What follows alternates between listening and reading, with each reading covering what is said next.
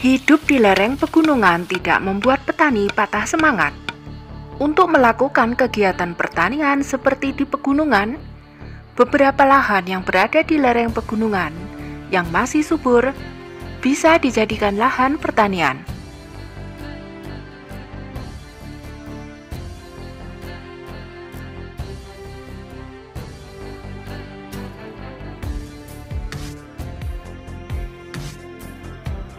Beberapa tanaman palawija menjadi tanaman utama yang ditanam oleh petani di lereng pegunungan seperti padi gogo yang tidak memerlukan genangan air, kemudian jagung, kacang-kacangan, dan juga umbi-umbian.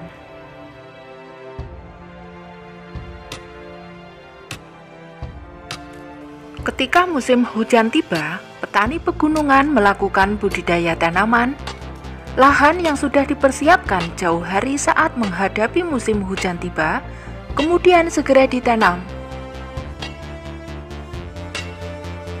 Seperti di lahan persawahan umumnya, tanaman pun perlu perawatan yang maksimal.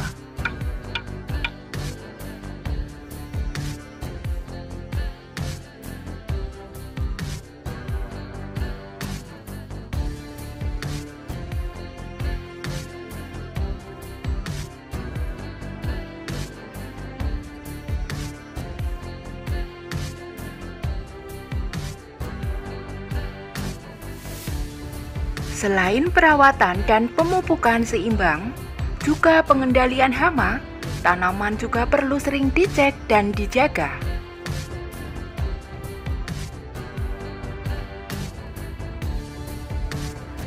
Agar petani bisa panen berlimpah dan bisa tercukupi kebutuhan pangan sepanjang musim, bahkan bisa melimpah hasilnya.